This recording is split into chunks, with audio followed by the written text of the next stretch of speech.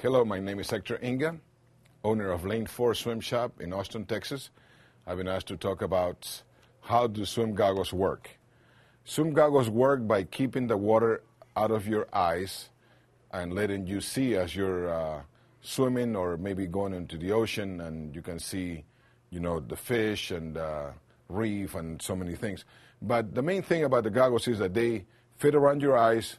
You want to make sure that they create a seal that way you can keep the water out of uh, your eyes, that way you can enjoy your swim. Uh, also, this um, uh, you want them to be anti-fog, the way you can see, and when you're swimming, they don't get foggy. Um, they work, like I said, just by keeping the water out of your face. You can adjust them. Uh, most of them come with uh, anti-fog, silicone straps, silicone gaskets. They're comfortable, and um, the goggles have evolved tremendously over the past years.